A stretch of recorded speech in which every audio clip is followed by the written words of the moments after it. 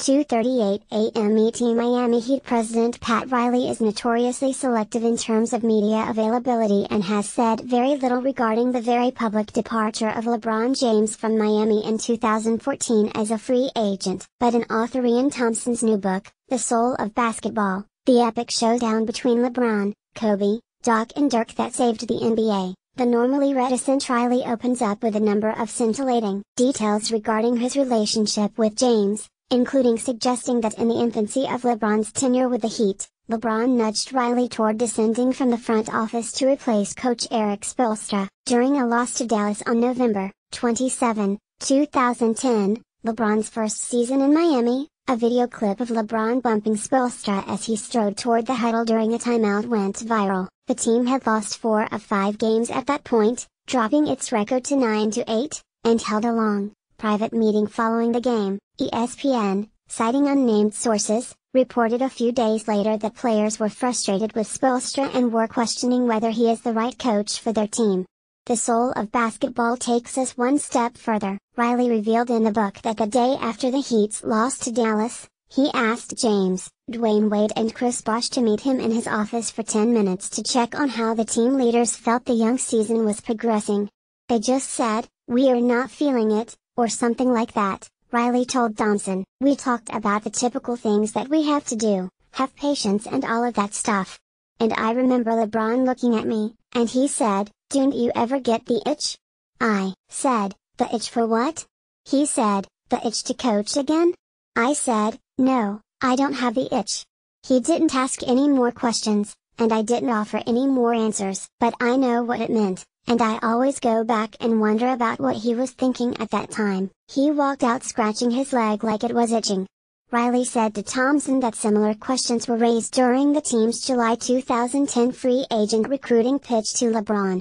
They wanted to know what was going to happen with Erik, Riley said. They wondered if I was going to be coaching. I said, look, Erik is the head coach, that's it. I support him. I'm not interested in coaching. In Ian Thomsen's book, Pat Riley said LeBron tried to gauge whether he'd replace Erik Spoelstra as coach. Issac Baldizon slash NB slash Getty Images the thought was in their mind at times that maybe I would come back and coach, I think, but I was truly done. I didn't want to get back into it, and Erik is a hell of a coach. He was coming off two good playoff years, but he had not been coaching three superstars, and then with the whole LeBron effect, it would have been a tough transition for any head coach with two years of experience.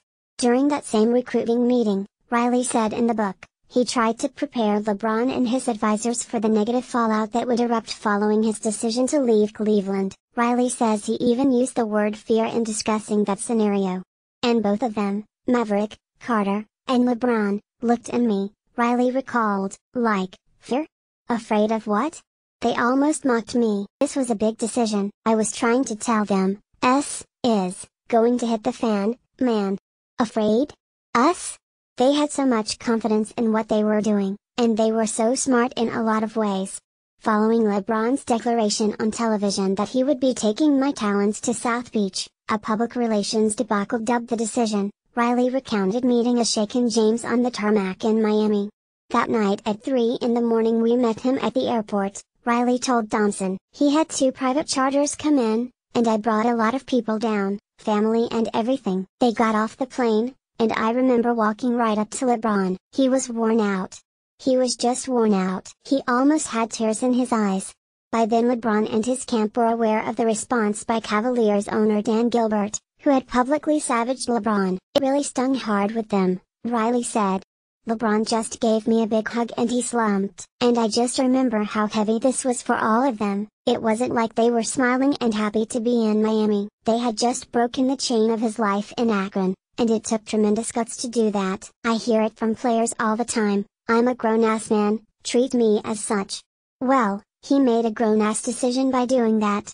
Criticism of James was further fueled by a Miami welcome rally the following day at the team's arena featuring cheerleaders, a brass band, plumes of white smoke, and LeBron inciting the capacity crowd by promising them not two, not three, not four, not five, not six, not seven, championships. Pat Riley takes the blame for the Heat's over the top celebration of landing the Big Three in 2010. Steve Mitchell USA Today Sports Riley asserted he was shocked by the spectacle, claiming he and his staff were too busy concentrating on negotiating sign and trade deals to acquire James and Bosh, and negotiating contracts for them and Wade, to monitor the details of the celebration. I knew there was going to be something, but I didn't envision that, Riley said. It was my fault, it's all on me. Riley said the three stars signed their six-year contracts while dressed in the Heat uniforms that they would wear to a public celebration of their arrival minutes later. I said to Micky, Arison, the Heat owner, let's go down and enjoy this press conference, Riley recalled. When I got there, I couldn't believe there were 18,000 people in the arena. It threw gasoline on the fire, it did ring of some hubris on our part that was not planned. Just as LeBron had been surprised by the backlash of the decision, Thomsen wrote, so too would Riley be stunned the next day. I just think the euphoria of that moment and what all three of them had done had got to them, Riley said. The serotonin level was going high. Some of the things that were said, I think they would take it back and be a little more humble if they could, and probably the same for us as an organization. But once it got going I was not going up on the stage to throw them off. How would that have been? I would have been booed out of the arena by 18,000 people.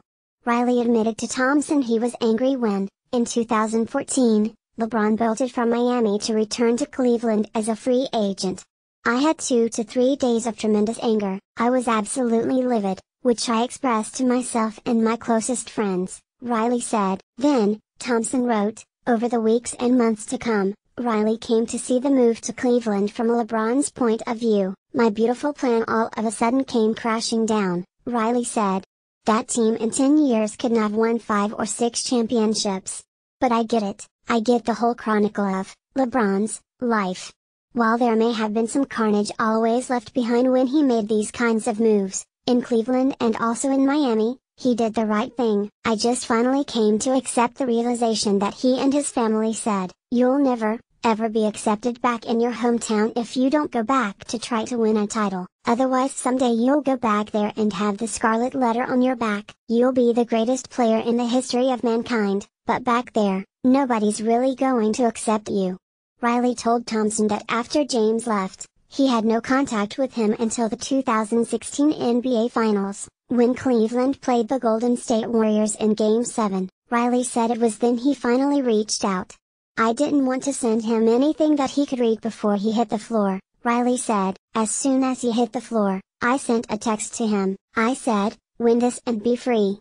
He never got back to me with a response. In fact, he said something after the game. After LeBron won his championship for Cleveland, he told ESPN's Dave McMenamin, when I decided to leave Miami, I'm not going to name any names, I can't do that dash but there were some people that I trusted and built relationships within those four years, who, told me I was making the biggest mistake of my career, and that has hurt me.